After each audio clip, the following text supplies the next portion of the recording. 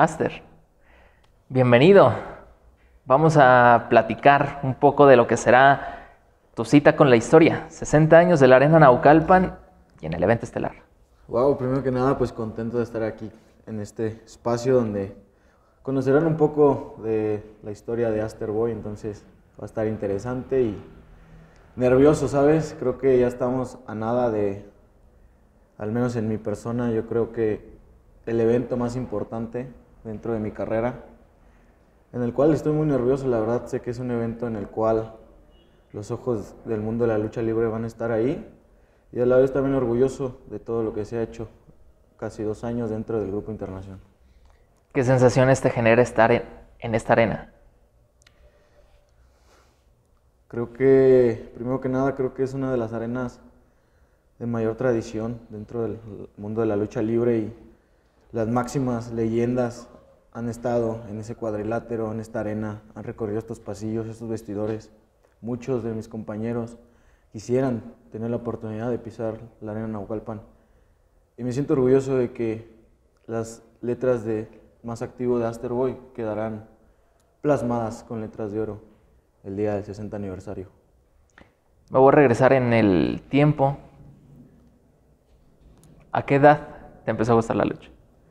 ¿A qué edad me empezó a gustar la lucha?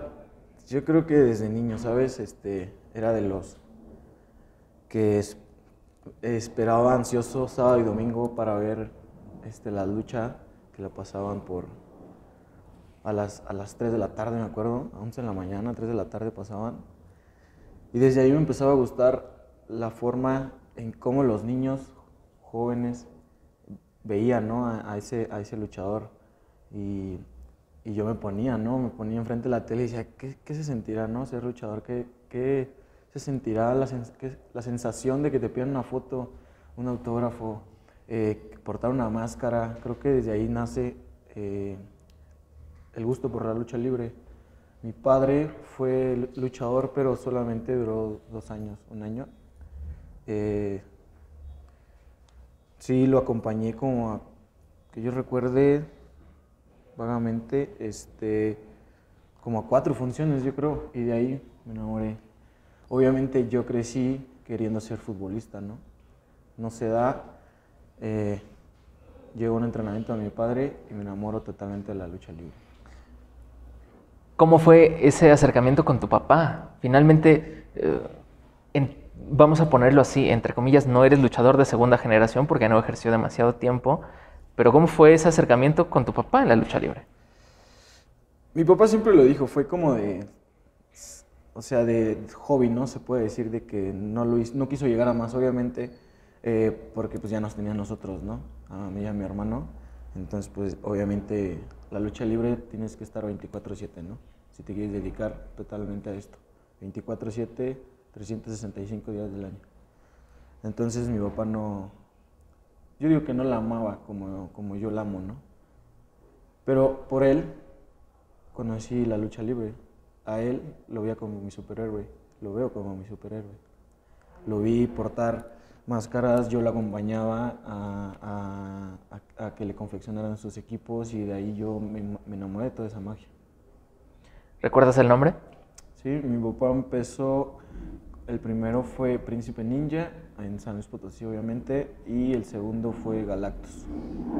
Digo, no ejerció, no fue más, a escasos tres años yo creo que, fue los que estuvo luchando y solamente ahora sí que ahí en la, la arenita de, del centro en San Luis Potosí y hasta ahí nada más. Pero prácticamente podemos decir que él nos, nos inculcó la lucha libre. ¿Cómo fueron? Entiendo que la decisión de tu papá de ser luchador, pues fue, lo acabas de decir, por hobby. ¿Cómo tomaron tus padres cuando quisiste ser luchador? El de que yo soy luchador, lo, desde niño, ¿sabes? Yo siempre eh, a mis padres, mi padre más que nada le dije que yo un día iba a ser luchador, que yo quería ser luchador y que yo quería vivir de la lucha libre. Obviamente no es todo color de rosas, ¿no? No siempre, eh, estás, no siempre estás arriba, ¿no? Obviamente hubo eh, tiempo donde él me decía, jamás vas a poder vivir de eso, jamás vas a poder llegar, No nomás él, ¿no? O sea, muchísima gente también. Creo que eh, no todo es fácil. Pero ya cuando estás dentro, te pones la máscara, sales, escuchas a tu gente, ahí, ahí cambia todo, ¿sabes? Ahí te vuelves y recuerdas el niño que veía, se ponía enfrente del televisor. Ahora yo me pongo a pensar, ¿cuántos niños no hacen eso? ¿Cuántos niños no me ven como, como yo veía a, mis ídolos ¿no? en la tele? Ahora los tengo aquí enfrente, estoy conviviendo con ellos, comparto vestidores con ellos. No sé, creo que así como la lucha libre quita muchas cosas, también te, te genera más cosas más chingonas, se le digo yo. Y son cosas que no las platicas, no, no, no presumes, ¿no?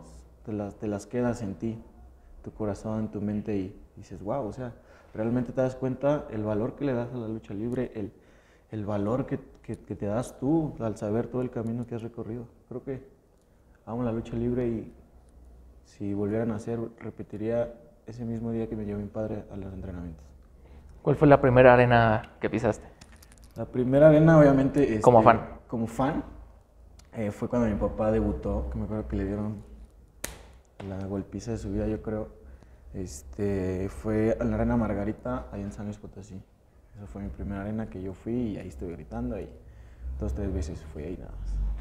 Y fuera de tu familia, ¿quién, eh, de niño, quién era tu ídolo? De niño siempre fue Volador Junior. Creo que por algo mucho me inspiré en él, ¿sabes? Me, encanta cómo lucha el señor Volador y yo creo que él fue mi inspiración eh, cuando yo empecé a entrenar, empecé a luchar, en todo, en todo, en todo creo que fue una de mis inspiraciones. Se habla mucho de ese primer entrenamiento de todos los luchadores, ¿cómo fue el tuyo? El mío se da de forma rara, ¿sabes? Este, obviamente yo ya conocía la lucha libre, ¿no? Es como te digo, acompañaba padre y todo, pero no, no era algo que yo quería en ese momento, ¿no? De practicarlo. Este, yo quería ser futbolista.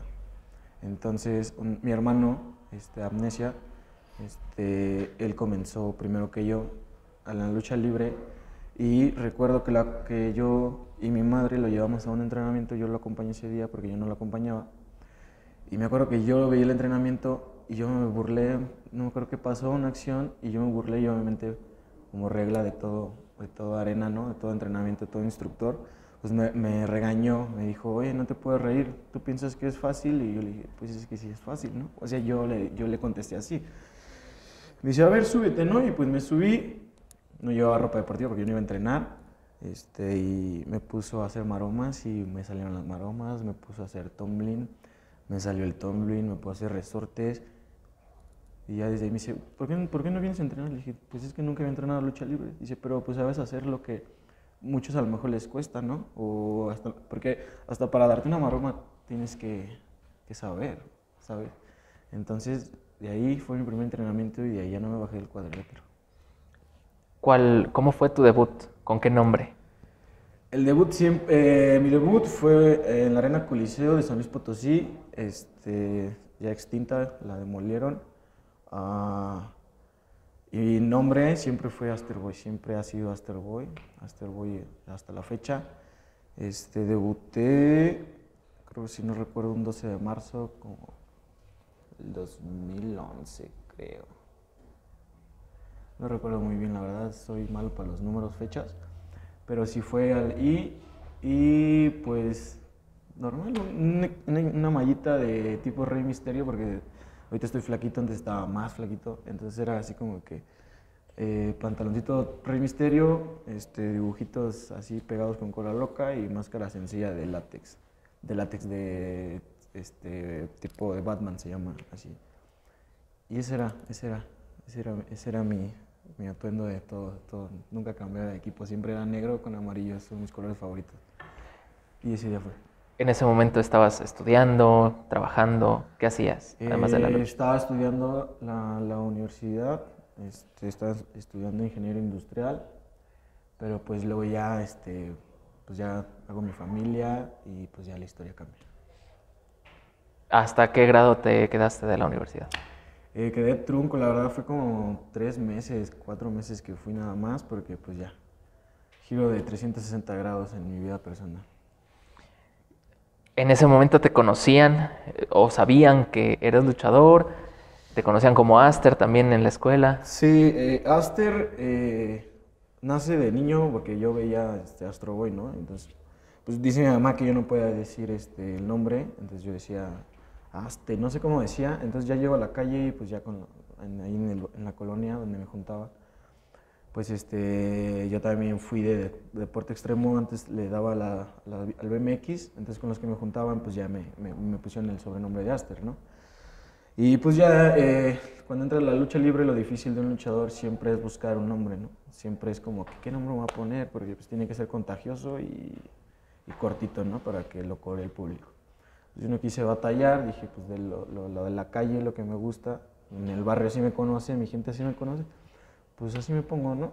Voy, pues ya, es que era un, un chamaco.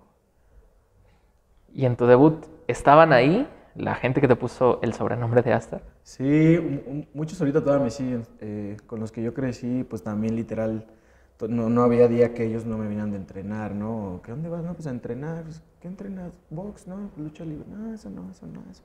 Y ahorita me escriben diario o ven publicaciones mías o "Oye, te vi en tal periódico o te vi en, en X, ¿no? Y es como que, no manches, Aster, yo me acuerdo que siempre nos platicabas y siempre nos reíamos de ti, siempre era como que, no manches, este está fumado, ¿no? O algo así.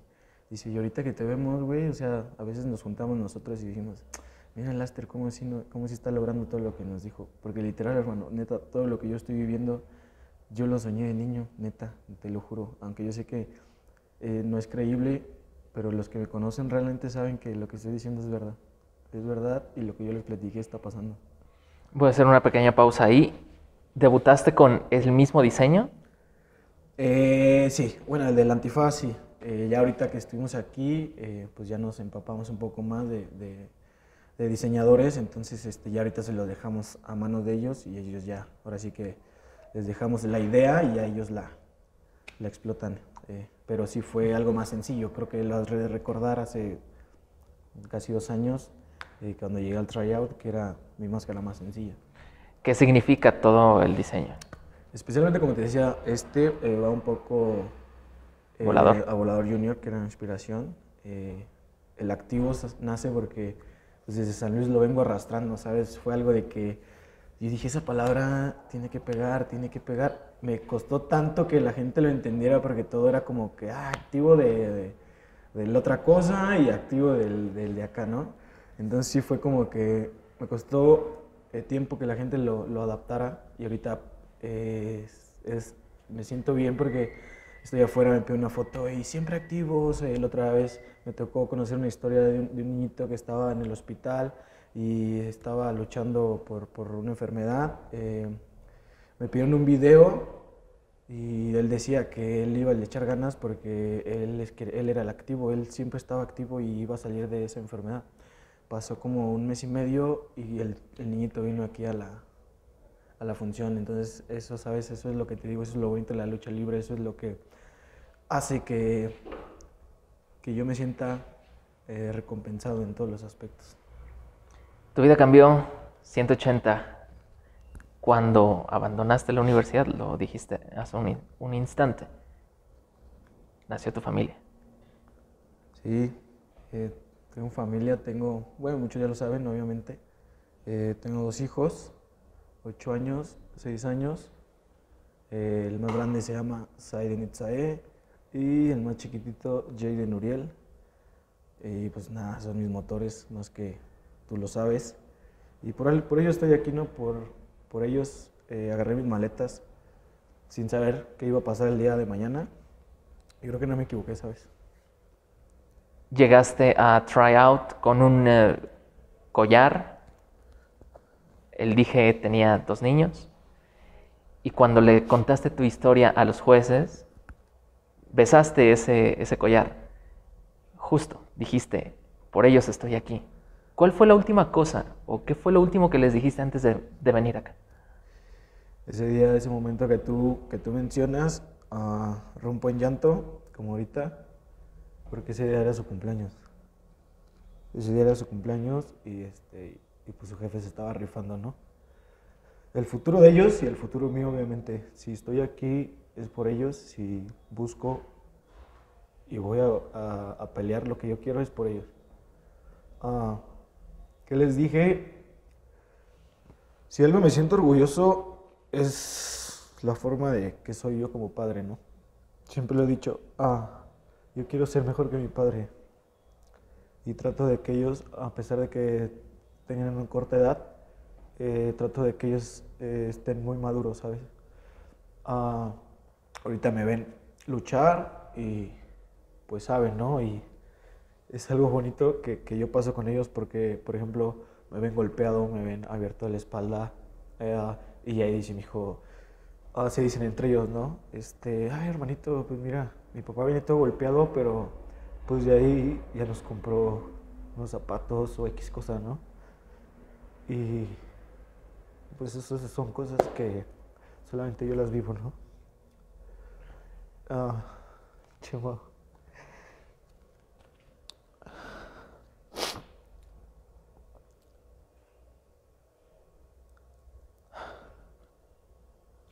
No es fácil, ¿sabes? No es fácil uh, llevar doble vida y con todos tratar de quedar bien, ¿no?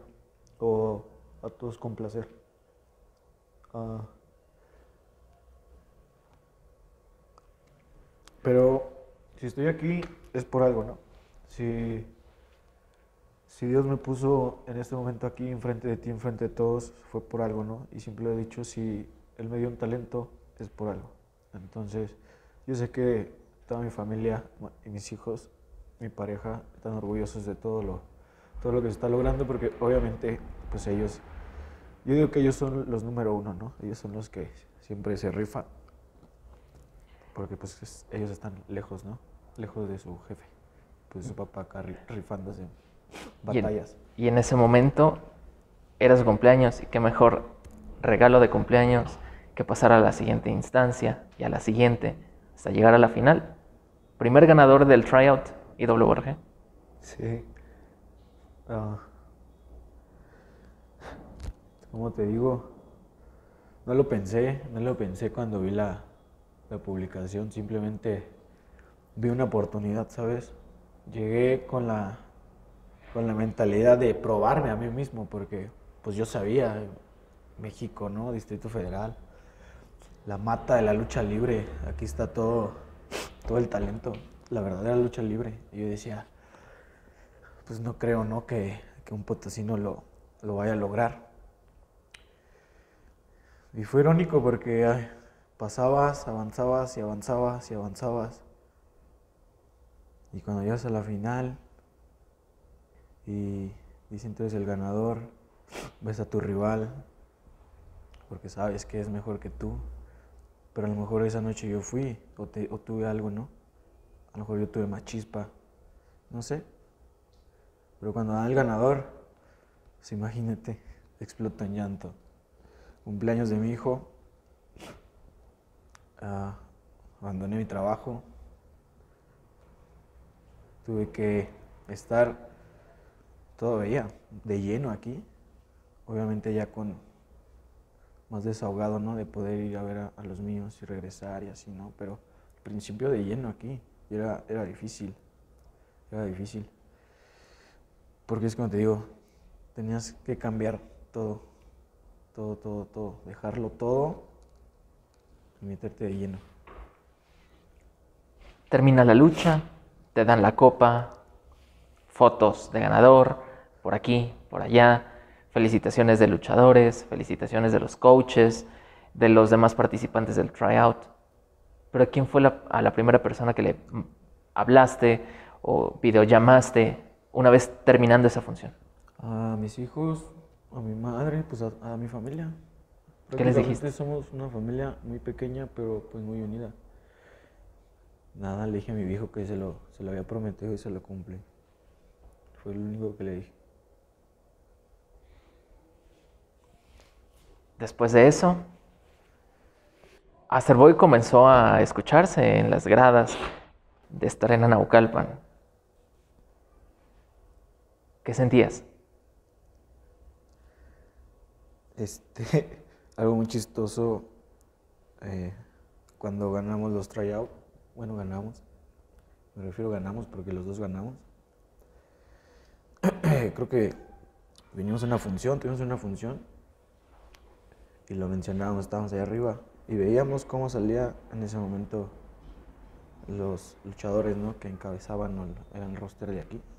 Y dijimos yo y él, un día, carnal, un día, hermano, un día van a correr nuestros nombres y vamos a bajar de ahí y nos van a aplaudir. Y él se, él se acuerda muy bien de ese, de ese, de ese tema, de eso que lo dijimos. ¿Qué sensación me, me, me genera? Es que es algo increíble el, el, el no ser nada dentro de la lucha libre y, y de la nada te llega esto. Obviamente, pues a base de de tu trabajo, de las oportunidades. Pero ver a, a niños con mi máscara,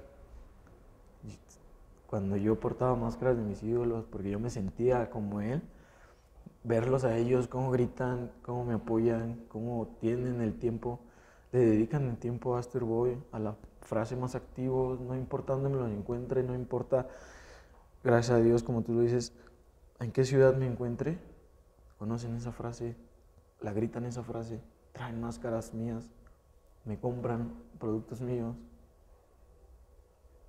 Es algo tan chingón que, que, que, que, que lo sueñas y lo anhelas tanto que cuando lo tienes, lo disfrutas pero callado, ¿sabes? Con los tuyos nada más. Porque recuerdas toda esa gente de atrás que no te sumó, que siempre puso piedras, siempre te puso el pie. Y ellos mismos te dicen, sí, no, yo creo en ti, tú vas a poder. Y por atrás, pum. Y ahorita que eres, se acercan y tú sabes. Y ahorita ya todo el mundo se acerca, ahorita ya todo el mundo se recordó que eres su amigo. Parte del premio, cinco años con IWRG. Y eso fue pues prácticamente inmediato, así como ganaste. La primera vez que regresaste a San Luis, ¿qué pasó?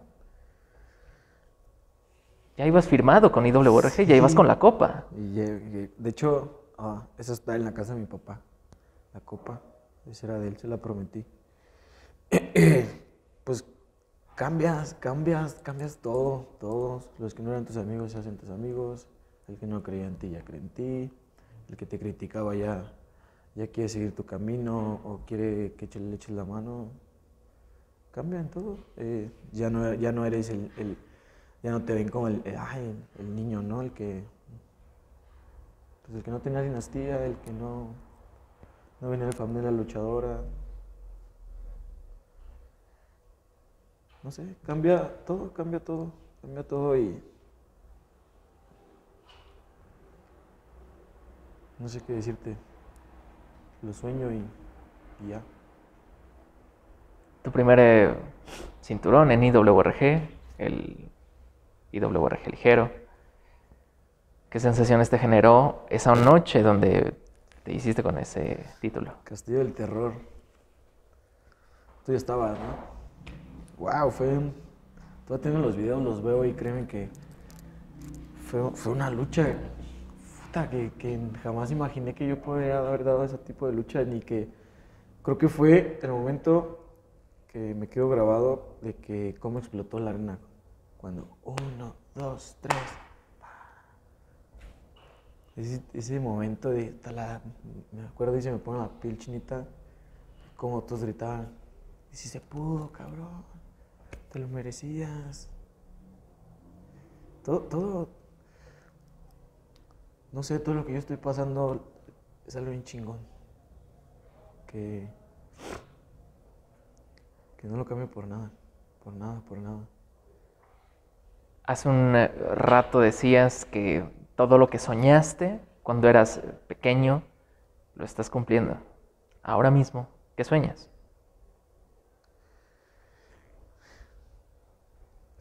que sueño, quiero seguir este, escalando, quiero, quiero seguir aprovechando todas las oportunidades que me den, cualquier parte. Quiero, no, no nomás quiero, siempre fui de que yo allá en mi San Luis Potosí, siempre tenía una frase de que no quería ser parte del costal, ¿no?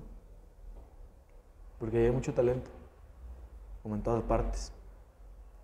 Pero pues se conforman o nos conformamos con el ser el ídolo, ¿no? De allá. Y yo siempre no quise ser eso. Ni quiero ser ni parte del costal, ni del costal de arriba, ni, ¿sabes? Y,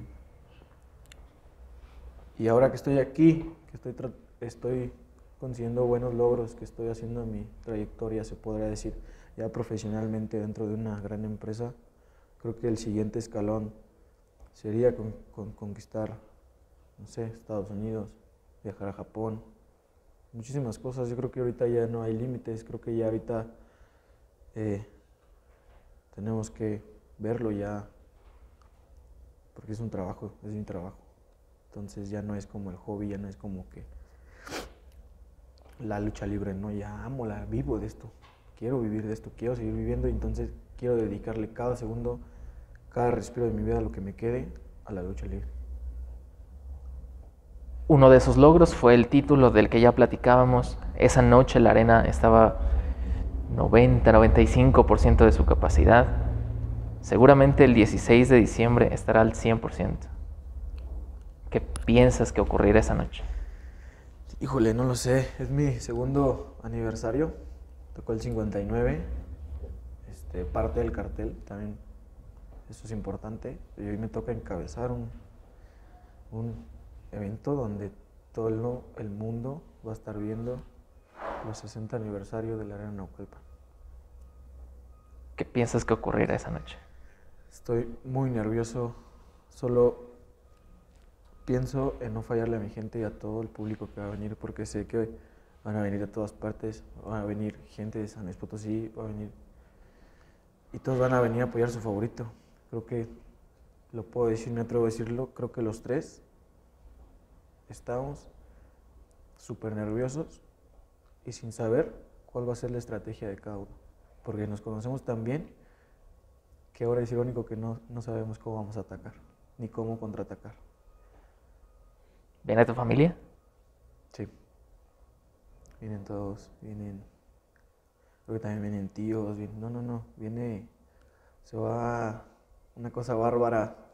Los nervios los voy a tener al millón si ya ahorita ya los tengo, que es prácticamente una semana. No me imagino ese día. Tú me has visto cómo doy vueltas por todo el vestidor cuando estoy nervioso, cuando sé que es un, tengo que sacar, no sé, es una lucha importante, es un evento importante. Yo soy de los que más, en nuestro vestidor, el rojo, soy el que más da vueltas. Porque soy, no puedo estar me quieto, no puedo estar sentado. Imagínate cómo voy a estar ese día.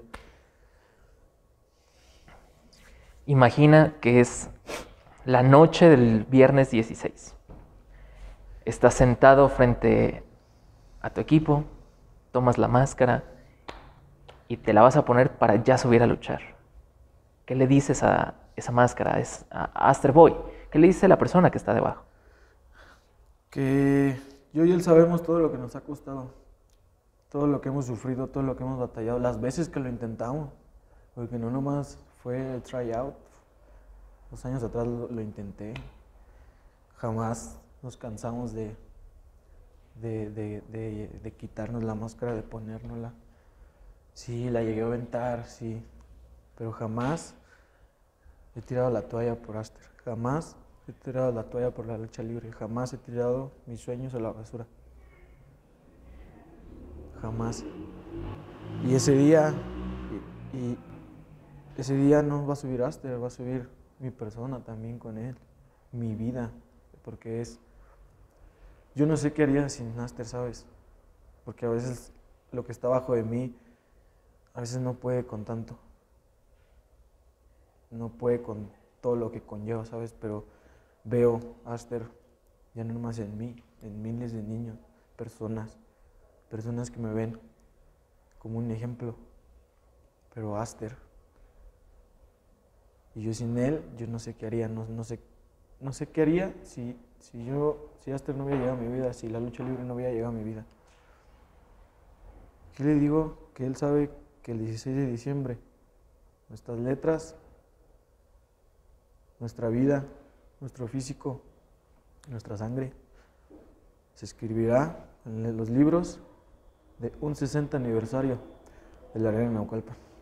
Un potosino, después de muchos años, vuelve a poner en el mapa a San Luis Potosí, obviamente las leyendas que ya están consagradas. Me refiero a joven como yo, orgulloso de que un potosino quede plasmado en una arena tan importante. Gracias, Aster.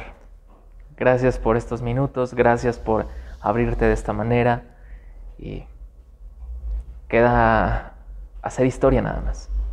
No, pues muchísimas gracias. Sacas lo, lo que muchos nos guardamos, ¿sabes? Y te lo agradezco. Agradezco a la empresa, en general a todo el público, mi familia. Y nada, hacer historia este 16 de diciembre.